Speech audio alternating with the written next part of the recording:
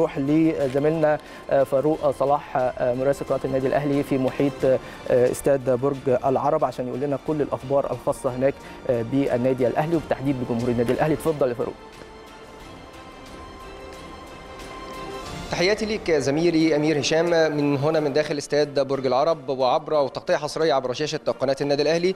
النادي الأهلي بيستهل مشواره في دوري أبطال إفريقيا بمواجهة فريق جيما الإثيوبي. متواجدين هنا من أمام بوابات الجماهير تم تخصيص البوابه رقم ثلاثة لدخول جماهير الدرجة الأولى بينما البوابه رقم 6 ورقم 7 لدخول جماهير الدرجة الموحدة.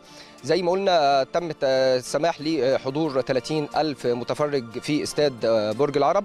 بدأت أعداد الجماهير تتوافد قليلا لكن إن شاء الله يعني قبل الاقتراب موعد اللقاء هيكون اكتمل لجماهير النادي الأهلي.